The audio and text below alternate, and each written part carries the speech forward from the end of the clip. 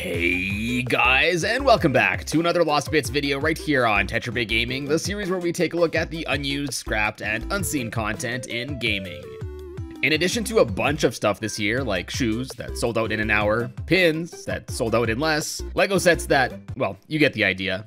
We also got a Switch collection containing three, not four, but three of Mario's main series 3D platformers. And unfortunately, for whatever reason, this game is going to become a lost bit itself come March 31st, 2021, when it no longer is going to be up for sale.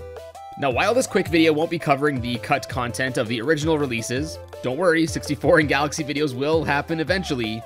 Here we'll be more so focusing on some hidden things in the games as they're presented in this collection. And really quick, if you're enjoying these videos, remember to subscribe. Only about 30% of the people that watch my videos are subbed, and new subscribers help the channel grow every day, and I really appreciate it. And with all of that said, let's go and find some lost bits. Alright, so first, before we have a look at any of the games in particular, there are a few interesting text strings found left over in the collection. The first of these is a set of text strings referencing several other Nintendo 64 games found in the content archive for Super Mario 64. These games include Kirby 64, The Crystal Shards, Mario Golf, Mario Story, what Paper Mario is known as in Japan, Mario Tennis, Perfect Dark, as well as Pokemon Snap. And some fans are already speculating that these could be strings that were meant to be deleted and that they could hint at potential future Nintendo 64 ports for the Switch, maybe even in a form like we have with the NES and Super Nintendo libraries.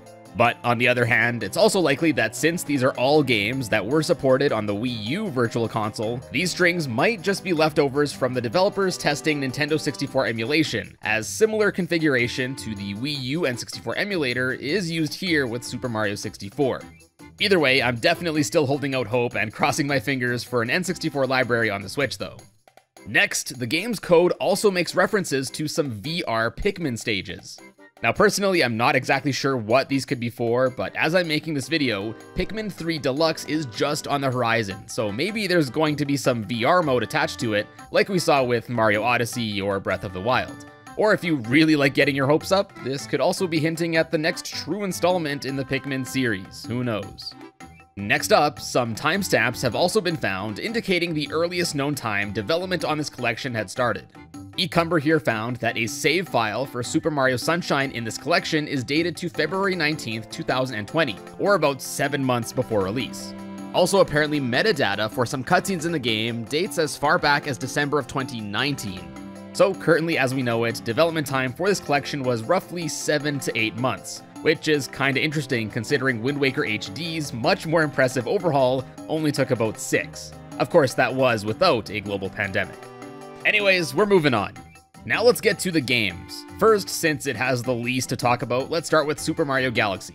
So unlike the other games in this collection, Galaxy is the only one to not be completely emulated. Although the graphics and audio are emulated, the game code itself runs natively on the Switch's hardware, which I thought was pretty interesting. Alright, and now winding the clock back to Super Mario 64, this is where things get a bit more spicy. So first off, the file for Super Mario 64 is straight up just a regular ROM, just like any of the other ones you can totally legally play on a PC emulator. But there are changes in the game, I can already hear you typing. But I say nay, all the new changes to Super Mario 64 in this collection are actually done on the fly when running the game using certain scripts. So changes such as the updated textures, the press plus instead of the press start text on the intro are all done on the fly. This is confirmed as if you extract the ROM from the game and run it in any old emulator without the scripts running, like I said, it's just a regular old ROM of the Shindo version of Super Mario 64. Furthermore, all the upgraded textures that are swapped in on the fly are found in this texture pack archive and can be also easily converted to PNG files. So if you wanted to, I don't know, stare at Peach's HD eyeball, you could do so to your heart's content. Then, another thing that many people, myself included, weren't super happy with was the decision to invert the way the camera normally controls in Super Mario 64 and Sunshine. I let Melon Speedruns, who actually brought a lot of this video's information to my attention, explain how this change was made. Hey guys, Melon here. Now, many people believe this change was made natively in each game, though the truth is, this is just a product of how the games were being emulated. Basically, the controls were configured in this inverted way in both the Nintendo 64 and GameCube emulator that the collection uses. So let's say you were to extract the Mario Sunshine or the Mario 64 ROMs from the collection.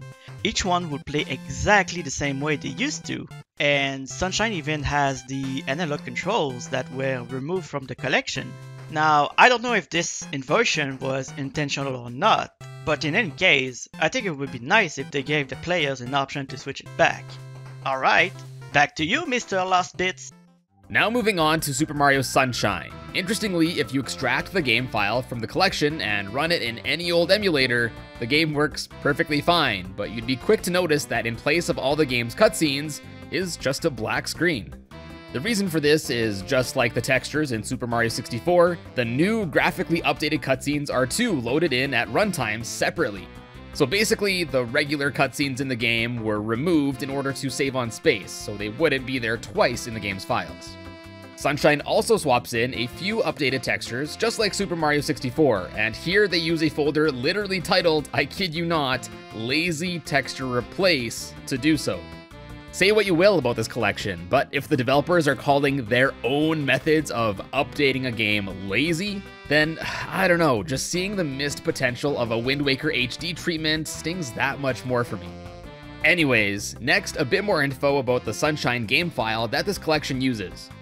So first, for every regional release of this collection, Nintendo decided to go with the PAL regional version of the game, likely since it already had support for several languages.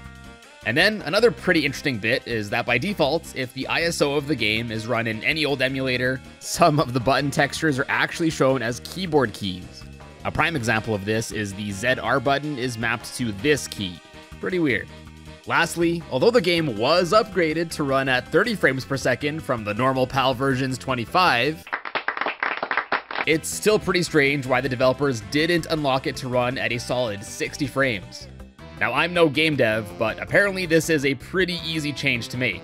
Changing only a few lines of code can apparently disable the game's 30 FPS lock, which can result in a smooth 60 FPS experience. I don't know, they just went through all this trouble of working on modding the game to run in widescreen, so I'm just surprised they didn't make this change that the emulation community has known about for years now. At first I thought maybe the reason for this was that the developers weren't confident if the Switch's hardware could handle it, but Galaxy runs pretty steadily at 60 frames per second, and that game is much more resource intensive than Sunshine, so I doubt that's the reason. Could be laziness, could be ignorance, but I'll leave you to be the judge on that one. I know I've probably seemed really critical about this collection in this video, and although admittedly I do wish it got a little more love from Nintendo, I do think it's really nice to have all three games available on the Switch now. Either way, I hope you guys enjoyed this Lost Bits video.